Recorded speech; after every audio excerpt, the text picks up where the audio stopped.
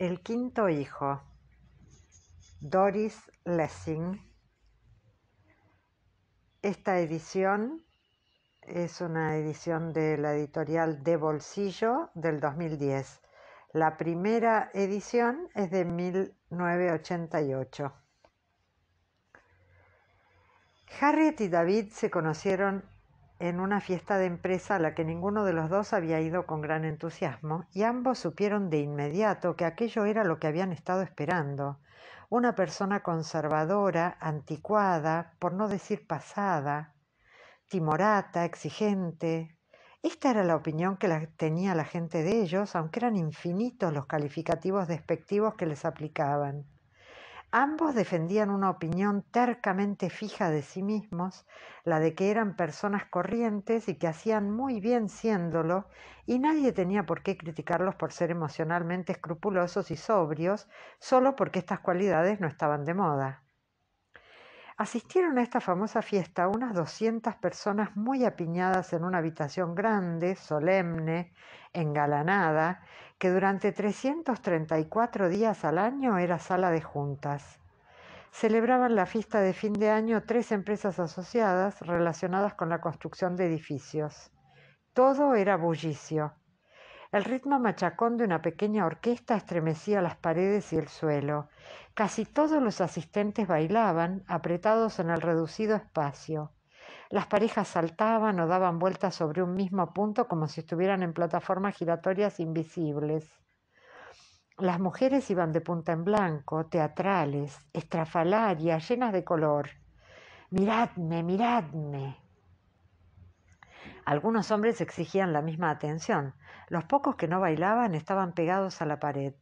Entre ellos se contaban Harriet y David, solos ambos, con una copa en la mano los dos, observando. Ambos se habían hecho la reflexión de que los rostros de los que bailaban, los de las mujeres más que los de los hombres, pero también los de los hombres, lo mismo podrían estar crispados por gritos de dolor que contorsionados por el gozo. Una agitación forzada impregnaba la escena. Pero ni David ni Harriet esperaban compartir con alguien estas ni muchas otras consideraciones que se hacían. Desde el otro extremo de la sala, si es que uno podía distinguirla entre tantas personas llamativas, Harriet era una mancha color pastel. Parecía una chica fundida en el entorno, como en un cuadro impresionista o por obra de un truco fotográfico. Estaba junto a un gran jarrón de hojas y plantas secas y llevaba un vestido estamplado de flores. Fijándose bien, podía distinguirse su cabello oscuro rizado, anticuado, los ojos azules, suaves, pensativos, y los labios tal vez demasiado apretados. En realidad, todos sus rasgos eran regulares y firmes y poseía una sólida constitución. Una mujer joven saludable, pero ¿no se sentiría más a gusto en un jardín? David llevaba una hora clavado en el mismo sitio, bebiendo con cierta prudencia, observando tranquilamente con sus ojos gris azulados de expresión seria a esta persona, a aquella pareja, fijándose en cómo se unía y se separaba la gente, como si rebotaran unos con otros. Harriet pensó que David no tenía aspecto de persona firmemente asentada, casi parecía vacilar, balanceándose sobre las plantas de los pies. Un joven menudo, aparentaba menos años de los que tenía, de rostro redondo y franco y suave cabello castaño por el que las chicas deseaban pasar los dedos. Pero aquella mirada suya fija y contemplativa imponía y las hacía desistir. Las hacía sentirse incómodas a Harriet no. Ella vio en aquella expresión de distanciamiento vigilante un reflejo de la suya propia. Su aire festivo le pareció forzado. Él estaba haciéndose mentalmente las mismas consideraciones sobre ella. Parecía que le desagradaran aquellas fiestas tanto como a él. Ambos habían descubierto quién era el otro. Harriet trabajaba en el departamento de ventas de una empresa que diseñaba y suministraba materiales de construcción. David era arquitecto. Pero ¿qué tenían aquellas dos personas que las hiciera tan extrañas y raras? Su actitud hacia el sexo. Eran los años sesenta. David había tenido una relación larga y complicada con una chica de la que se enamoró a su pesar. era justamente el tipo de chica que él no quería. Bromeaban sobre la atracción de los contrarios. Ella le decía que pensaba reformarla. Creo que tú te, tú te imaginas que vas a retrasar el reloj empezando conmigo. David calculaba que desde que habían roto de forma bastante penosa, ella se había acostado con todo el personal de Seasons Blend Co. No le extrañaría que con las chicas también. Y había ido a la fiesta. Allí estaba, con un vestido rojo con encaje negro, una ingeniosa parodia de traje flamenco. Su cabeza emergía asombrosamente de aquel batiburrillo. Eran puros años veinte, llevaba el pelo negro liso terminado en punta por detrás, con dos puntas negras brillantes sobre las orejas y un rizo negro en la frente. Lanzó saludos y besos frenéticos a David desde el otro extremo de la sala, donde giraba con su pareja.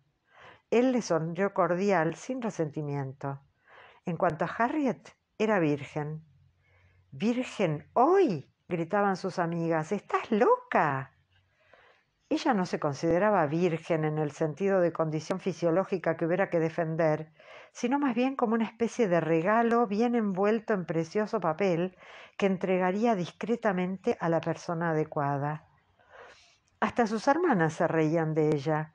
Las chicas de la oficina la miraban con deliberada ironía cuando ella porfiaba. Lo siento, no me gusta eso de andar por ahí acostándose con gente, eso no es para mí. Sabía que constituía un tema de conversación siempre interesante y en general criticable. Con el mismo frío desdén que las buenas mujeres de la generación de su abuela habrían empleado para decir es bastante inmoral, ¿sabéis? o no es como tendría que ser, o no tiene precisamente fama de virtuosa. Y luego la generación de su madre, la vuelven loca los hombres, o es ninfómana, Así comentaban entre ellas las chicas ilustradas modernas. Pobrecilla, algo tuvo que pasarle en la infancia para que sea así. Y en realidad, a veces se había sentido desdichada o deficiente de algún modo porque, con los, porque los hombres con los que salía a comer o al cine solían considerar su negativa como prueba de un criterio no solo patológico, sino mezquino había salido durante un tiempo con una amiga más joven que las demás, pero luego también ella se había vuelto como las otras, según sus propias palabras, que la definía a la vez a ella como inadaptada. Se pasaba muchas tardes sola y a menudo iba a pasar los fines de semana con su madre.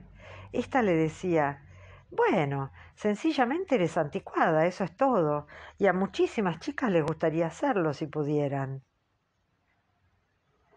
Estos dos excéntricos, Harriet y David, dejaron sus respectivos rincones y se, encaminaron el uno hacia el otro en el mismo instante, dato este que sería importante para ellos cuando la famosa fiesta de la empresa pasara a formar parte de su propia historia. Sí, exactamente al mismo tiempo. Tuvieron que empujar al pasar a gente apretujada ya contra las paredes, avanzaron con las copas alzadas sobre la cabeza para impedir que los bailarines se las tiraran, y así llegaron al fin a encontrarse, sonriendo, quizá con cierto nerviosismo. Él la tomó de la mano y ambos se abrieron paso hasta la habitación contigua, la del buffet, tan llena y estruendosa como la anterior, y salieron al pasillo, donde se veía alguna que otra pareja abrazada y luego consiguieron abrir la primera puerta cuyo tirador se dio. Era un despacho con un escritorio y sillas duras y también un sofá. Silencio. Bueno, casi. Suspiraron, dejaron las copas, se sentaron frente a frente para poder ver todo lo que deseaban ver y empezaron a hablar. Hablaron como si el hablar les hubiera sido negado a ambos, como si se estuvieran muriendo por hablar. Y siguieron allí sentados, juntos, hablando, hasta que el bullicio de las salas del otro lado del pasillo empezó a apagarse. Y entonces salieron tranquilamente de allí y fueron al piso de él, que quedaba cerca. Se acostaron cogidos de la mano y hablaron, besándose de vez en cuando, y luego se durmieron. Ella se trasladó casi de inmediato al piso de él, dejando su habitación en un piso compartido, que era cuanto había podido permitirse. Ya habían decidido casarse en la primavera. ¿Por qué esperar? Estaban hechos el uno para el otro. Harriet era la mayor de tres hermanas. Hasta que no dejó el hogar paterno a los 18 años, no supo cuánto debía a su infancia, pues muchas amigas suyas cuyos padres se habían divorciado llevaron vidas extrañas y azarosas y estaban, como suele decirse, desequilibradas. Harriet no era una persona desequilibrada y siempre había sabido lo que quería. Había sido bastante buena estudiante, había estudiado diseño gráfico en la escuela de arte porque le había parecido una forma agradable de pasar el tiempo hasta que se casara. El problema de ser o no ser una profesional nunca le había quitado el sueño, aunque estaba dispuesta a analizarlo, pues no quería parecer más excéntrica de lo necesario. Su madre era una mujer satisfecha que tenía todo cuanto razonablemente podía desear.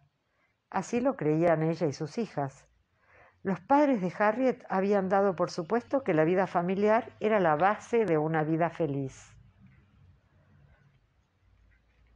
La experiencia de David era completamente distinta. Sus padres se habían divorciado cuando él tenía siete años.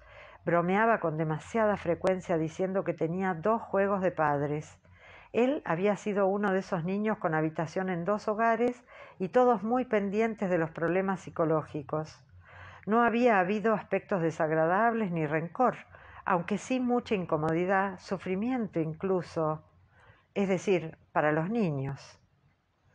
El segundo esposo de su madre, el otro padre de David, era un intelectual, un historiador, y tenía una casa grande y destartalada en Oxford. A David le gustaba aquel hombre, Frederick Burke, que era amable, aunque distante como su madre, que era amable y distante. Su verdadero hogar había sido aquella casa, y seguía haciéndolo mentalmente todavía, aunque pronto crearía junto con Harriet otro que sería una continuación y ampliación del anterior. Aquel hogar suyo era un amplio dormitorio en la parte de atrás de la casa que daba al descuidado jardín, una habitación destartalada que contenía su niñez bastante fría al estilo inglés. Su verdadero padre volvió a casarse con una mujer de su tipo, una mujer bulliciosa, amable, competente, con ese buen humor cínico de los ricos. James Lovat era constructor de barcos y cuando David aceptaba ir a verle, su sitio podía ser tanto el camarote de un yate como una habitación en una villa del sur de Francia o de las Antillas. ¿Esta es tu habitación, David? Pero él prefería su vieja habitación de Oxford. Había ido forjándose una fiera exigencia personal de cara al futuro. Para sus hijos todo sería distinto. Sabía muy bien lo que quería y el tipo de mujer que necesitaba. Si Harriet había visto su futuro al viejo estilo, que un hombre le entregaría las llaves de su reino y que allí hallaría todo cuanto exigía su naturaleza, y esto como un derecho innato, algo hacia lo que ella, primero sin saberlo y luego con toda resolución, había estado avanzando, rechazando cualquier embrollo y drama, él concebía el suyo como algo que tenía que proteger y por lo que tenía que luchar. En esto su esposa debía ser como él, tenía que saber en qué estriba la felicidad y cómo conservarla. David tenía treinta años cuando conoció a Harriet y había estado trabajando de la forma disciplinada y tenaz del individuo ambicioso, pero él trabajaba por un hogar. Era imposible encontrar en Londres el tipo de casa que ellos querían para el tipo de vida que deseaban. De todos modos, no estaban seguros de que Londres fuera lo que necesitaban. No, no lo era. Era mejor un pueblecito, con su ambiente propio, Dedicaron los fines de semana a visitar los pueblecitos próximos a Londres y no tardaron en encontrar una gran casa victoriana que se alzaba en un jardín cubierto de maleza. Perfecto. Claro que para una pareja joven era absurdo. Era una casa de tres plantas, con desván y un montón de habitaciones, pasillos, rellanos, espacio abundante para los niños, en realidad. Pero ellos querían tener muchos hijos. Ambos habían proclamado, un tanto desafiantes por la enormidad de lo que le pedían al futuro, que no les importaría tener muchos hijos. Hasta cuatro o cinco. O seis, dijo David. O seis, dijo Harriet, riéndose aliviada hasta que se le saltaron las lágrimas y se habían reído y habían rodado por la cama y se habían besado y estaban entusiasmados porque resultaba que precisamente en aquel asunto, en el que ambos habían esperado rechazo e incluso se habían preparado para aceptarlo o para tener que llegar a un compromiso, resultaba que no había ningún problema. Pero aunque Harriet podía decírselo a David y David a Harriet, seis niños por lo menos, no se lo podían decir a nadie más. Aún con el sueldo bastante decente de David, más, que, más el de Harriet, la hipoteca de aquella casa no estaba a su alcance. Pero ya se arreglarían. Ella trabajaría dos años, iría todos los días con David a Londres y luego... La tarde que compraron la casa se quedaron de pie cogidos de la mano en el pequeño porche. Los pájaros cantaban en el jardín, las ramas estaban oscuras y brillantes aún por la fría lluvia de principios de primavera. El corazón les brincaba de dicha cuando abrieron su puerta principal y se encontraron en una estancia muy grande que daba unas escaleras amplias. Algún propietario anterior había tenido la misma idea de hogar que ellos. Habían tirado los tabiques para que aquella ocupación, aquella habitación ocupara casi toda la planta baja. La mitad correspondía a la cocina, separada del resto solo por un tabique bajo que serviría para poner libros. La otra mitad era una estancia muy espaciosa, con cabida para sofás, butacas y toda la comodidad y el bienestar de un salón para la familia. Siguieron suave, delicadamente, casi sin respirar, sonriendo y mirándose y riéndose aún más porque los dos tenían lágrimas en los ojos, caminando sobre la madera desnuda que estaría muy pronto cubierta de alfombras, y subieron luego despacio las escaleras con varillas de latón para la alfombra. En el rellano se volvieron a admirar maravillados aquella gran estancia que sería el corazón de su reino. Siguieron subiendo. La primera planta tenía un dormitorio grande, el suyo, que daba una habitación más pequeña que se reservaría para el bebé de la casa. En la misma planta había otras cuatro habitaciones bastante espaciosas. Subieron por otro tramo de escaleras, más estrechas pero suficientemente amplias, a la planta siguiente, que tenía cuatro habitaciones, por cuyas ventanas, como por las de abajo, se veían árboles, huertos, prados, todas las vistas de una agradable zona suburbana. Y sobre aquella planta había un desván enorme, perfecto para cuando los niños llegaran a la edad de los juegos mágicos secretos. Bajaron despacio las escaleras, un tramo, dos, pasando habitaciones y habitaciones, imaginándolas llenas de niños, de parientes, de invitados, y llegaron de nuevo a su dormitorio. Habían dejado en él una cama grande, una cama hecha de encargo para la pareja a la que le habían comprado la casa. El agente les había explicado que para sacarla habrían tenido que desmontarla y que además los propietarios de la cama se iban a ir a vivir al extranjero. David y Harriet se echaron en ella y contemplaron su habitación. Guardaron silencio, sobrecogidos por lo que estaban asumiendo. Las sombras de un lilo, con el sol de lluvia detrás, parecían bosquejar seductoramente en los amplios espacios del techo los años que vivirían en aquella casa. Volvieron la cabeza hacia las ventanas, donde la copa del viejo lilo mostraba sus vigorosos capullos que no tardarían en abrirse. Luego se miraron y vieron cada uno las lágrimas del otro rodarle por las mejillas. Hicieron el amor allí, en su cama. Harriet estuvo a punto de gritar No, para. ¿Qué estamos haciendo?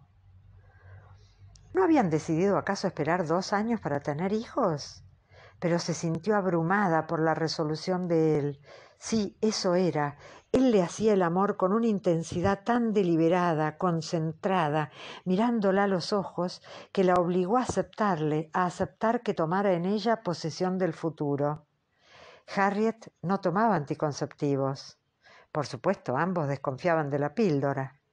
Ella estaba en el período de máxima fertilidad, pero hicieron el amor y lo hicieron con deliberación solemne. Una vez, dos, y luego, cuando la habitación ya estaba a oscuras, volvieron a hacerlo. Bien, dijo Harriet en voz baja, pues estaba asustada y decidida a no demostrarlo. Bien, ya está hecho, estoy segura. Él se echó a reír, una risa fuerte, desconsiderada, sin escrúpulos, totalmente impropia del modesto, alegre y sensato David. La habitación, completamente oscura ya, parecía ahora inmensa, como una caverna negra sin fin. Les llegaba próximo el roce de una rama en el muro. Olía a tierra mojada fría y a sexo. David, David, estaba echado riendo para sí, y cuando sintió que lo miraba, volvió ligeramente la cabeza y su sonrisa le incluyó también a ella, pero en sus propios términos. Le brillaban los ojos con pensamientos que ella no podía adivinar tuvo la sensación de que no le conocía.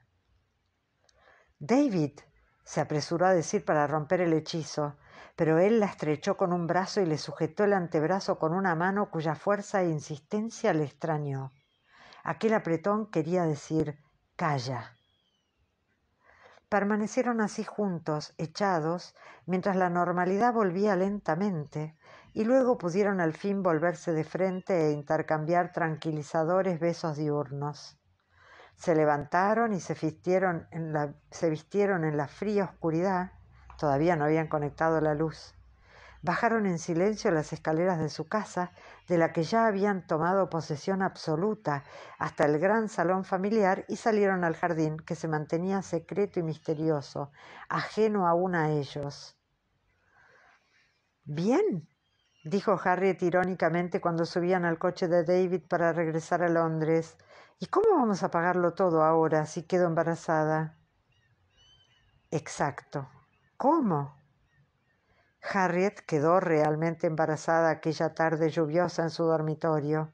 Pasaron muy malos ratos pensando en la escasez de sus recursos y en su propia flaqueza, pues en esos momentos, cuando la base material no es suficiente, es como si nos estuvieran juzgando, Harriet y David se consideraban pobres e ineptos, sin nada a que aferrarse más que a las tercas ideas que los demás habían considerado siempre erróneas. David nunca había aceptado dinero de su acaudalado padre y de su madrastra, que se habían limitado a pagarle los estudios, como a su hermana Débora, pero ella había preferido el estilo de vida de su padre, igual que él había preferido el de su madre, y por eso los hermanos se habían visto poco, y la diferencia entre ellos se resumía para él precisamente en que ella había elegido la vida de los ricos. No quería pedir dinero. Sus padres ingleses, así consideraba ahora a su madre y a su marido, tenían poco dinero, pues eran intelectuales sin ambiciones. Una tarde estaban los cuatro, David y Harriet, Molly, la madre de David, y Frederick en el salón junto a las escaleras examinando sus nuevos dominios. Ahora en la parte de la cocina había ya una gran mesa con espacio suficiente para quince o veinte personas. Había también un par de sofás inmensos y unos amplios sillones comprados de segunda mano en una subasta local. David y Harriet estaban de pie uno junto al otro, Comparados con aquellas dos personas mayores que les juzgaban, se sentían todavía más ridículamente excéntricos y demasiado jóvenes. Frederick y Molly eran grandes y desgarbados, con abundante cabello canoso. Vestían ropa cómoda que menospreciaba la moda con displicencia. Parecían benévolos almiares, pero no se miraban uno a otro de aquel modo que David conocía tan bien. Bueno, está bien, dijo jocosamente sin poder aguantar ya la atención. Podéis decirlo. Y rodeó con un brazo a Harriet, que estaba pálida y tensa por las náuseas matinales y porque se había pasado la semana fregando suelos y limpiando cristales. ¿Vais a montar un hotel? Inquirió razonablemente Frederick, decidido a no emitir juicios. ¿Cuántos niños pensáis tener? preguntó Molly con una risilla que indicaba que no tenía sentido protestar. Muchos, dijo suavemente David. Sí, dijo Harriet, sí. Ella realmente no se daba cuenta como David, David, como David de lo contrariados que estaban aquellos dos padres. Como todos los de su clase, pese a su apariencia de inconformismo, en realidad eran la esencia misma de lo convencional y detestaban cualquier muestra de exageración, de exceso. Y la casa lo era. Vamos, os invitaremos a cenar si es que hay un hotel decente, dijo la madre de David. Durante la cena hablaron de otros temas hasta que mientras tomaban café, Molly comentó Supongo que te das cuenta de que tendrás que pedir ayuda a tu padre. David hizo una mueca de disgusto, pero tenía que afrontarlo. Lo importante era la casa y la vida que se viviría en ella. Una vida que ambos padres lo supieron por la expresión resuelta de David que les pareció llena de fatuidad juvenil anularía, exculparía y compensaría todas las deficiencias de la vida de ellos, de Molly y de Frederick, y también de la de James y Jessica. Cuando se despidieron en el oscuro del hotel, Frederick dijo Desde luego me parece que estáis los dos bastante locos. En fin, digamos que como mínimo creo que os equivocáis. Sí, dijo Molly, en realidad no lo habéis pensado bien. Hijos, quien no los haya tenido no puede saber el trabajo que dan. David se echó a reír e hizo un comentario, un viejo comentario que Molly reconoció y afrontó con una risa intencionada. Tú no eres maternal, madre, dijo David. No lo eres. En cambio, Harriet es maternal por naturaleza. Muy bien, dijo Molly. Al fin y al cabo, se trata de vuestra vida. Llamó por teléfono a James, su primer marido, que estaba en un yate cerca de la isla de White. Su conversación terminó así. Creo que tienes que venir y verlo por ti mismo. Muy bien, lo haré, dijo él, aceptando tanto lo que no se había dicho como lo que sí. Su dificultad para seguir los lenguajes no expresos de su esposa había sido la razón principal de que le hubiera complacido dejarla. Poco después de esta conversación, David y Harriet estaban de nuevo viendo la casa con los padres de David, con los otros. Esta vez desde fuera. Jessica, plantada en medio del prado, cubierto aún de la brosa leñosa del invierno y de una primavera ventosa, inspeccionaba crítica la casa. Le parecía lóbrega y detestable como la propia Inglaterra. Jessica tenía la misma edad que Molly y parecía veinte años más joven. Era delgada y morena y el cutis le brillaba siempre como si acabara de darse una loción solar, aunque no se lo hubiera dado. Tenía el cabello amarillo y corto y brillante y vestía ropas de colores vivos. Con los tacones de unos zapatos verde jade clavados en la hierba, miraba a su marido, James. Él, que ya había visto la casa, dijo exactamente lo que David esperaba que dijera. Es una buena inversión. Sí, dijo David. Y el precio no es excesivo, tal vez porque resulta demasiado grande para la mayoría de la gente. Supongo que el informe del técnico fue positivo, ¿no? Sí, dijo David. En tal caso me haré cargo de la hipoteca. ¿En cuánto tiempo hay que pagarla? En treinta años, dijo David. Para entonces ya me habré muerto, supongo. Bueno, no, no, no os di mucho de regalo de bodas. Tendrás que hacer lo mismo por Débora, dijo Jessica. Ya hemos hecho mucho más por Débora que por David, dijo James. De todos modos podemos permitírnoslo. Ella se echó a reír y se encogió de hombros. Gran parte del dinero era suyo. Esta desenvoltura con el dinero caracterizaba su vida en común, que David había probado y rechazado furioso, prefiriendo la frugalidad de la casa de Oxford, aunque nunca lo había dicho en voz alta ostentosa y demasiado fácil. Así era la vida de los ricos. Pero ahora tendría que estarles agradecido. ¿Y cuántos chicos pensáis tener, si se me permite la pregunta? inquirió Jessica, que parecía un periquito allí de pie sobre la hierba húmeda. Muchos, dijo David. Muchos, dijo Harriet. Pues mejor vosotros que yo, dijo Jessica, y con esto los otros padres de David abandonaron con alivio el jardín y también Inglaterra. Luego entró en escena Dorothy, la madre de Harriet. Ni a Harriet ni a David se les ocurría pensar ni decir Santo cielo, qué espanto tener a tu madre siempre alrededor. Porque si habían elegido la vida familiar, resultaba que Dorothy debía quedarse por tiempo indefinido para ayudar a Harriet, aunque insistiendo en que tenía una vida propia a la que había de volver. Dorothy era viuda y esta vida suya propia consistía esencialmente en visitar a sus hijas. Había vendido la casa familiar y tenía un piso pequeño, no muy bonito, pero ella no era de las que se quejan. Cuando se percató del tamaño y potencial de la nueva casa, estuvo algunos días más taciturna de lo habitual. A ella no le había sido fácil criar tres hijas. Su marido era químico industrial, tenía un buen sueldo, pero nunca les había sobrado el dinero. Ella sabía bien lo que costaba en todos los sentidos una familia, incluso una pequeña. Una noche durante la cena hizo algunas observaciones en este sentido. David, Harriet, Dorothy. David había vuelto a la casa tarde, acababa de llegar, el tren se había atrasado. Los viajes diarios a Londres no resultarían muy agradables, serían lo peor para todos, aunque por supuesto en especial para David, pues tardaría casi dos horas dos veces al día en ir al trabajo y volver. Esta sería una de sus aportaciones más interesantes a su sueño. La cocina ya estaba casi como tenía que estar. La gran mesa con sólidas sillas de madera alrededor, ahora solo cuatro, pero había más colocadas en hilera junto a la pared, a la espera de los invitados y de los niños aún por nacer. Había un gran, un gran fogón, un haga y un aparador antiguo con tazas y jarras colgadas. Había floreros llenos de flores del jardín, donde el verano había dado profusión de rosas y lirios.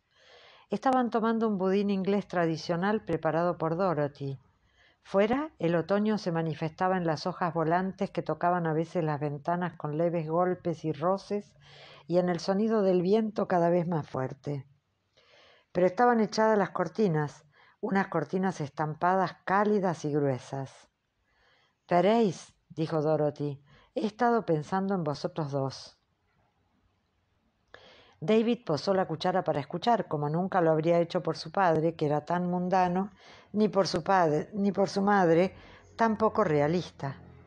Me parece que no tenéis por qué precipitarlo todo. No, dejadme hablar. Harriet solo tiene veinticuatro años, todavía no ha cumplido los veinticinco. Y tú, David, solo tienes treinta. Y cualquiera diría que creéis que si no lo agarráis todo enseguida lo vais a perder. Bueno, esa es la impresión que he sacado yo oyéndoos hablar. David y Harriet la escuchaban atentos. Sus ojos se encontraron, fruncieron el entrecejo pensativos. No podían ignorar a Dorothy, aquella mujer grande, sana, sencilla, con su actitud decidida y sus modales considerados. Reconocían sus méritos. Es lo que siento, dijo Harriet. Sí, hija, ya lo sé. Ayer estabais hablando de tener otro niño enseguida. Creo que lo lamentaréis. Podría perderse todo perfectamente, dijo David obstinado. Lo terrible de esto, que le salió de lo más hondo, como sabían las dos mujeres, no quedaba amortiguado por las noticias que pregonaba la radio. Malas noticias de todas partes, nada comparado con lo que serían pronto las noticias, pero bastante amenazador de todas formas. Pensad en ello, dijo Dorothy. Quiero que lo hagáis. A veces me dais miedo. La verdad es que no sé por qué. Quizá debiéramos haber nacido en otro país, dijo Harriet indignada. ¿Sabes que en otras partes del mundo sería normal? ¿No, tenía, no tendría nada de extraño? ¿No les hacen sentirse delincuentes? Los anormales somos nosotros, los europeos, dijo David. No lo sé, dijo Dorothy, tan terca como cualquiera de ellos. Pero si tuvieseis seis hijos, u ocho o diez. No, sé lo que estás pensando, Harry, te conozco, ¿no? Y estuvierais en otra parte del mundo, como Egipto o la India o cualquier otro sitio, entonces la mitad de ellos se morirían y no tendríais que darles una educación. Vosotros lo queréis todo. La aristocracia. Sí, esos pueden tener hijos como conejos y cuentan con ello, pero tienen dinero y los pobres pueden tener hijos y la mitad de ellos mueren y cuentan con ello. Pero la gente como nosotros, que estamos en el medio, hemos de mirar mucho los hijos que tenemos para poder velar por ellos y sacarlos adelante. Y creo que vosotros no lo habéis pensado con detenimiento. No, voy a preparar el café yo. Vosotros id a sentaros. David y Harriet cruzaron el amplio espacio del tabique que separaba la cocina del sofá de la sala de estar. Se sentaron, cogidos de la mano, un hombre joven menudo, obstinado, algo alterado, y una mujer enorme, ruborosa, que se movía con torpeza. Harriet estaba embarazada de ocho meses. No había sido un embarazo fácil. Nada grave, pero se había encontrado mal con frecuencia, Dormía mal porque no hacía bien la digestión y se sentía descontenta consigo misma. Se preguntaban por qué les criticaría siempre la gente. Dorothy trajo el café, lo dejó sobre la mesa. Dijo Recogeré la cocina. No, vosotros quedaos sentados, por favor. Y volvió al fregadero. Pero es lo que siento, dijo Harriet apesadumbrada. Sí, Debemos tener hijos mientras podamos, dijo Harriet. Dorothy dijo desde el fregadero, al principio de la última guerra, la gente decía que era irresponsable tener hijos, pero los tuvimos, ¿no es así? Se echó a reír. Pues ahí lo tienes, dijo David. Y los sacamos adelante, dijo Dorothy.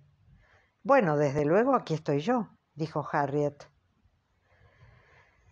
Harriet dio a luz a su primer hijo Luke en la cama de matrimonio, asistida por la comadrona, aunque también estaba presente el doctor Brett.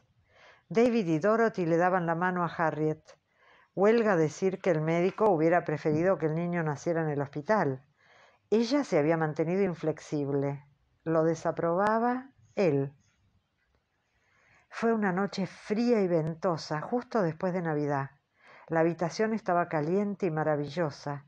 David lloraba, Dorothy lloraba, Harriet reía y lloraba. La comadrona y el médico tenían un vago aire de festejo y de triunfo. Todos bebieron champán y le echaron un poquito en la cabeza al pequeño Luke. Era 1966. Luke era un niño muy bueno. Dormía pacíficamente en el cuartito que daba al dormitorio de matrimonio y se alimentaba satisfactoriamente del pecho materno. ¡Felicidad! Cuando David iba a tomar el tren para Londres por las mañanas, Harriet se quedaba sentada en la cama dando de mamar al niño y tomando el té que él había subido. Al inclinarse para darle el beso de despedida y acariciar la cabecita a Luke, le embargaba una intensa sensación de posesión que Harriet comprendía y que le agradaba, pues no era posesión respecto a ella o al niño, sino de la felicidad, de la de ambos. Aquella Semana Santa celebraron la primera de las reuniones familiares. Habían amueblado las habitaciones lo imprescindible para acomodar a las dos hermanas de Harriet, Sara y Ángela, y a sus maridos e hijos, y Dorothy en su elemento. Y también les hicieron una breve visita Molly y Frederick, que admitieron que lo estaban pasando bien, pero que la vida familiar a aquella escala no era para ellos.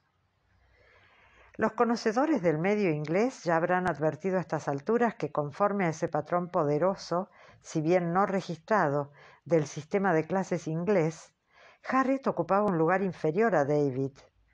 Esto se evidenciaba, aunque por supuesto sin comentarios, verbales al menos, a los cinco segundos de que uno de los Lovat o los Burke se encontraran con cualquiera de las Walker. A las Walker no les extrañó que Molly y Frederick dijeran que se quedarían solo dos días, ni que cambiaran de idea cuando llegó James Lovat. Y muchos maridos y esposas forzados a separarse por incompatibilidad, como muchos maridos y esposas forzados a separarse por incompatibilidad, a Molly y a James les gustaba verse cuando sabían que tenían que separarse enseguida. En realidad, todos los pasaron bien todos lo pasaron bien y coincidieron en que la casa contribuía a ello.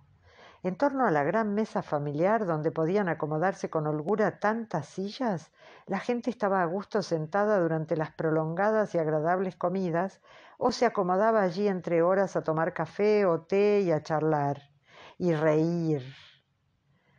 Cuando Harriet y David en su dormitorio o al bajar las escaleras oían las risas, las voces, la charla, el bullicio de los niños jugando, buscaban el uno la mano del otro y sonreían y respiraban dicha. Nadie sabía, ni siquiera Dorothy, seguro que Dorothy no, que Harriet estaba embarazada otra vez. Luke tenía tres meses. No se lo habían propuesto, pensaban esperar un año pero estaba embarazada. Este dormitorio tiene algo especial, estoy seguro, decía David riéndose. Se sentían agradablemente culpables, echados en la cama, escuchando los ruidos infantiles que emitía Luke en su habitación, decidieron no decir una palabra hasta que se hubieran ido todos. Cuando se lo comunicaron a Dorothy, ella volvió a quedarse muy callada y luego dijo bueno, me necesitaréis, ¿verdad? La necesitaron.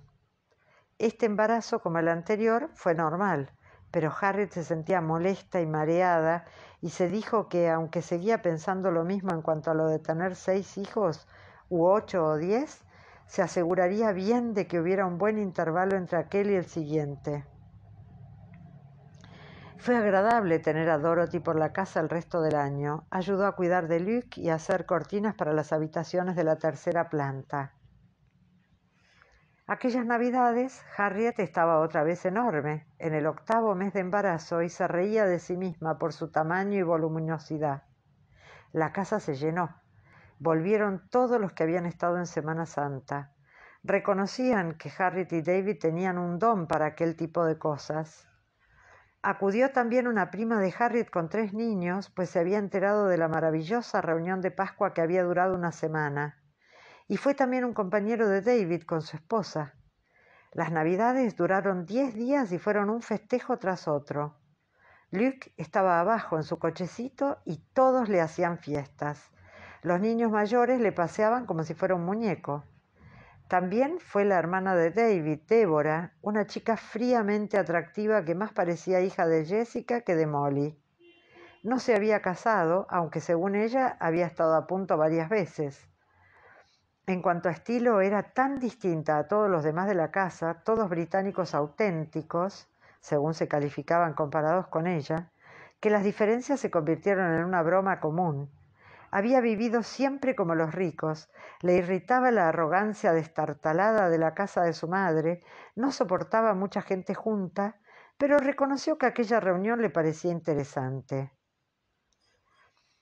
Eran doce adultos y diez niños. Aparecieron algunos vecinos invitados, pero el sentido de la unidad familiar era tan fuerte que les hizo sentirse excluidos y Harriet y David se alborozaban de que ellos, con aquella obstinación suya que todos habían criticado y ridiculizado, hubieran conseguido aquel milagro. Eran capaces de reunir a todas aquellas personas tan distintas y hacer que lo pasaran bien juntas.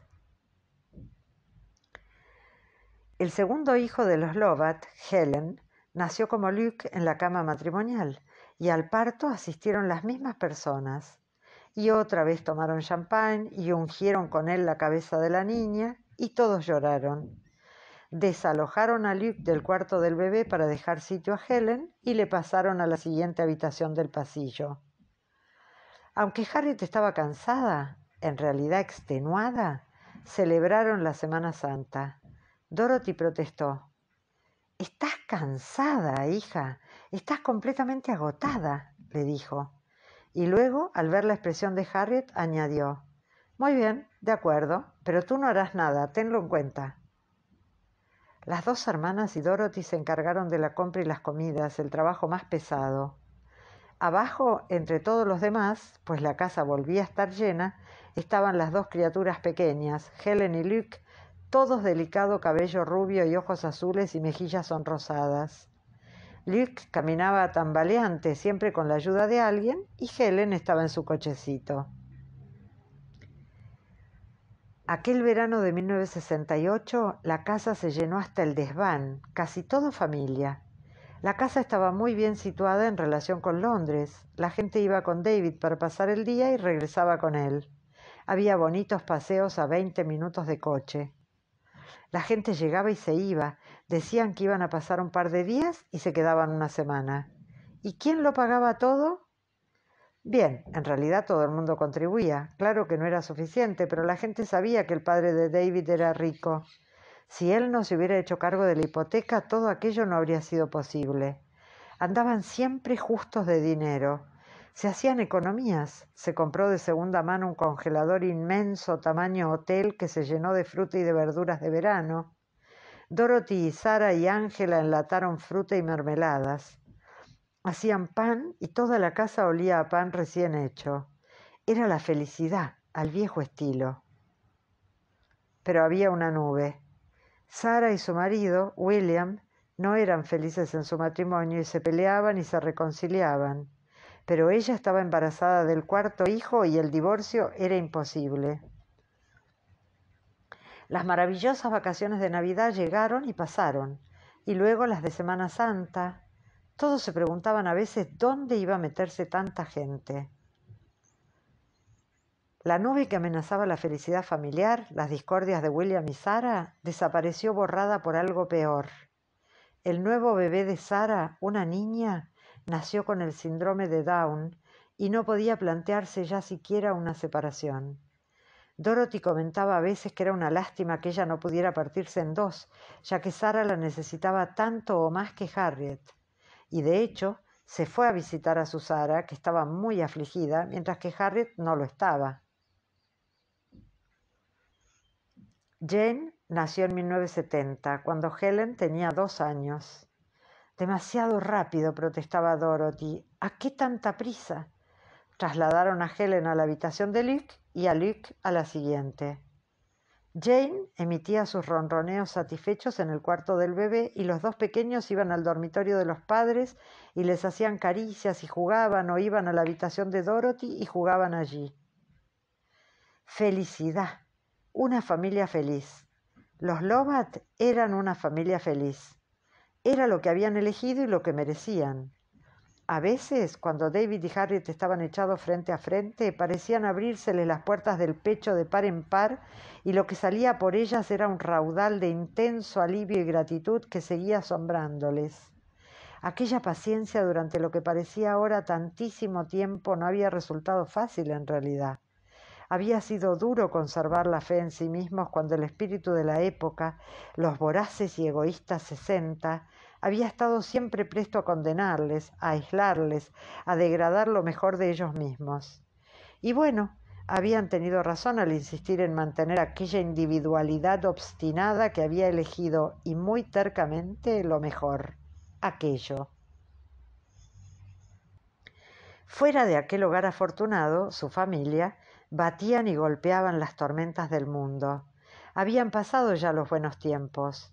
La empresa de David se había visto afectada por la crisis y no había conseguido el ascenso que esperaba. Pero otros se habían quedado sin trabajo, así que después de todo él tenía suerte. El marido de Sara estaba sin trabajo. Sara bromeaba lúgubremente diciendo que William y ella atraían toda la mala suerte del clan. Harriet le dijo a David a solas que no creía que fuera mala suerte. Seguro que las peleas de William y Sara, su desventura, eran la causa de la niña mogólica. Sí, sí, ya sabía que no debían llamarla mongólica, pero la verdad es que la niñita se parecía bastante a Gengis Khan, ¿o no? Un Gengis Khan bebé con la carita aplastada y los ojos rasgados. A David no le gustó este aspecto de Harriet, un fatalismo que parecía totalmente ajeno al resto de su persona. Le dijo que le parecía que aquel era un razonamiento para morirse de risa. Harriet se enfurruñó y tuvieron que reconciliarse. En los cinco años que llevaban viviendo allí, el pueblecito había cambiado. Sucesos y delitos brutales que en tiempos escandalizaban a todos estaban ahora a la orden del día. En determinados cafés y cruces de calle se concentraban bandas de jóvenes que no respetaban a nadie. En la casa de al lado habían robado tres veces. En la suya todavía no. Claro que allí siempre había gente. La cabina telefónica del final de su calle había sido destrozada tantas veces que las autoridades habían renunciado a volver a arreglarla. A Harriet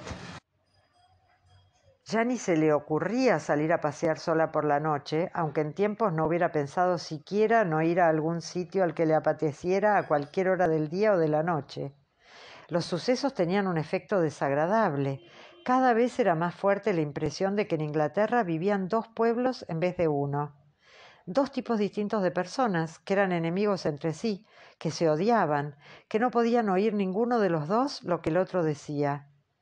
Los jóvenes Lovat se obligaban a leer los periódicos y a ver las noticias de la televisión, aunque su instinto les impulsase a no hacerlo. Tenían que saber al menos lo que ocurría fuera de su fortaleza, fuera de aquel reino en el que crecían tres niños preciosos y a donde llegaba mucha gente para sumergirse en la seguridad, la comodidad y la amabilidad. El cuarto bebé, Paul, nació en 1973 entre Navidad y Semana Santa. Harriet no se encontraba muy bien. Sus embarazos seguían siendo desagradables y llenos de pequeñas molestias.